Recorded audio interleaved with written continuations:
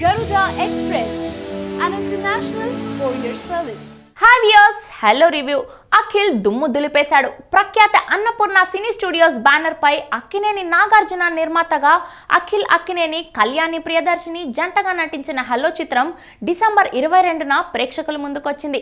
మనం ఫేమ్ విక్రమ్ కే కుమార్ దర్శకత్వంలో వచ్చిన హలో ఈ రోజు వచ్చింది. అఖిల్కి రీఎంట్రీ మూవీగా ఎలాగైనా తన కొడుకును నిలబెట్టాలన్న పట్టుదలతో నాగార్జున చేసిన ఈ యాగం ఫలించిందో ప్రేక్షకులను ఈ సినిమా అలరించిందో లేదో చూద్దామా?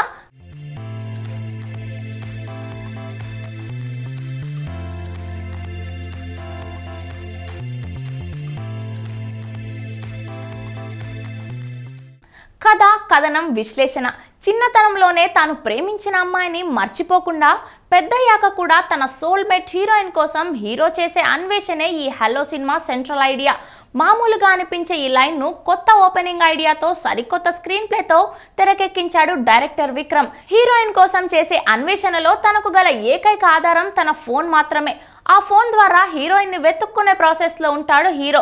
At the same time ఇండియాలో most dangerous mafia don Ajay and gang హైదరాబాద్లో కొన్ని కోట్ల రూపాయల ఇంటర్నేషనల్ డీలింగ్ కోసం వేసిన మాస్టర్ ప్లాన్ సక్సెస్ అయ్యే క్షణంలో అనుకోకుండా హీరో ఫోన్ పోగొట్టుకోవడం అదే ఫోన్ మాఫియా గ్యాంగ్ డీలింగ్ కోసం కోడింగ్ మిషన్ అని పొరపాటు పడి ఆ ఫోన్ విలన్ గ్యాంగ్ దగ్గరికి వెళ్ళిపోవడం ఆ ఫోన్ కోసం ఆ గ్యాంగ్ని చిత్తకొట్టి ఆ డీల్ని ఫ్లాప్ చేసేస్తాడు hero.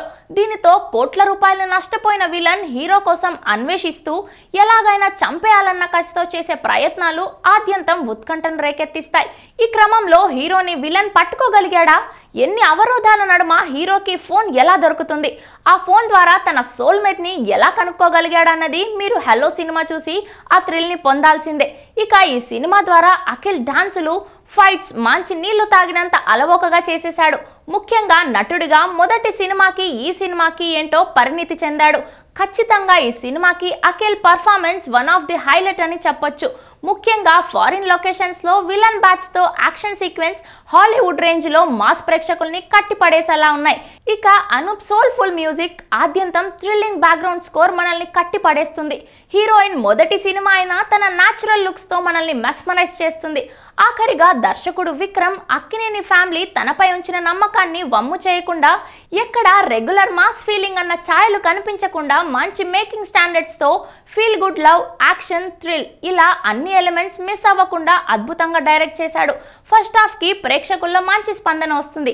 Second half mid portion కొంచెం సాగినట్టు అనిపించినా మంచి ఎమోషనల్ క్లైమాక్స్తో ఏడిపించేశాడు విక్రమ్.